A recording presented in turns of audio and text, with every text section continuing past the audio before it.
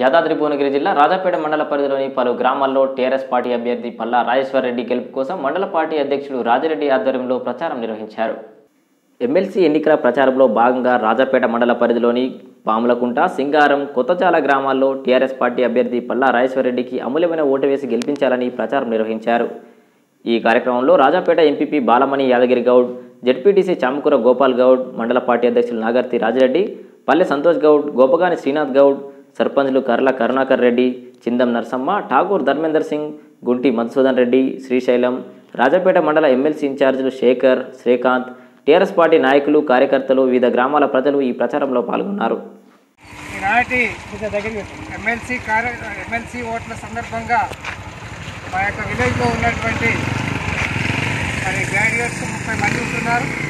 అందులో భాగంగా మరి కేసీఆర్ ప్రవేశపెట్టినటువంటి అనేక సంక్షేమ క- పథకాలను బట్టి మరి గ్రామ ప్రజలు ఓటర్స్ కానీ మరి గ్రాడ్యుయేట్స్ కానీ ఈ యొక్క సంక్షేమ పథకాలకు ఆకర్షితులై ఈనాడు జరగబోయే ఎన్నికల్లో మరి గ్రాడ్యుయేట్స్ అత్యధిక మెజారిటీతో మరి డాక్టర్ పల్ల రాజేశ్వరరెడ్డి గారిని మరి మొదటి ప్రాధాన్యత ఓటు వేసి మరి భారీ మెజార్టీతో గెలిపిస్తారని మా యొక్క గ్రామ పక్షాన మేమందరం కార్యకర్తలము మరి ముక్తకంతంతో ఈ యొక్క ఎమ్మెల్సీ ఎన్నికలో పాల్గొని ఈ యొక్క విజయాన్ని మేము తప్పకుండా కేసీఆర్కి ఒక కానుకగా మేము ఇస్తామని ఆశిస్తూ మేము ముగిస్తున్నాం జై నాయకత్వం వర్ధిల్లాలి. కేసీఆర్ గారి నాయకత్వం.